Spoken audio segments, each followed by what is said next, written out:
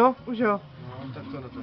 Ale já musím všude. Tak, tady je František Dubenec. A co bys popřál babičce a Marketě na výročí 120. společných narozenin? Já chci počkat, až přijde, až co řekne Pavlína. No, ty jsi ukecaný, ty vole. Vy- tak jo. furt co kuřit a pít. Dobře, Ty tady je. Se. Ta- tak, tady je sestra, která mi někam utíká. Tvaří se, tvaří se důležitě, co by Ten, si... co má pusy, počívám doma taky. Tak ten, co má větší pousy, jsem já. Brat. Jo, Ta, co má menší pousy, to je sestra. Pavlína. Aha, Nebo má dobře. brýle, já jsem úplně stejný. Tak všichni Jo, jsem Já mám větší prsa. Jo. A, kra- a kratší vlasy.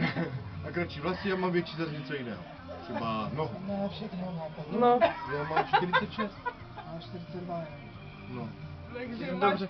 a, a řeknete mi teda, co byste jim popřáli? Jo, my bychom jim popřáli hodně zdraví, potom hodně zdraví, štěstí, aby se jim líbilo v novém bydlení, protože to tam Aby budou si mít našli moc nějakého hezké, pořádného chlapa. pořádné, ale ne společného. To je třeba říct, že by měli být dva. Ale ne bratři. No, otec a syn.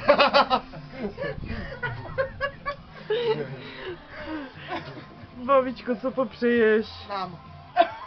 Marketě? Rozum už ne. Babička je zhulená. na to. No, na to tak aj vypadá, no. Dobře, tak babička si teďka dala prvního štuka marihuany, tak si ptát nebudem.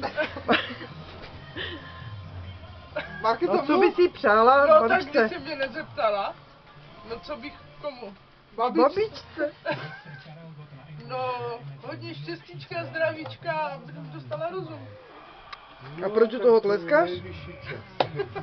Že je hodně nadšená. Dobře, já se jdu zeptat děvčat. Ehm, Tak to vypni a potom zase zapni, to Jo? je lepší, jo. To mám normálně tím? Normálně tím